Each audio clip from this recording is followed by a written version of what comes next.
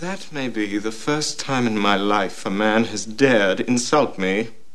It won't be the last. To the pain means the first thing you lose will be your feet below the ankles.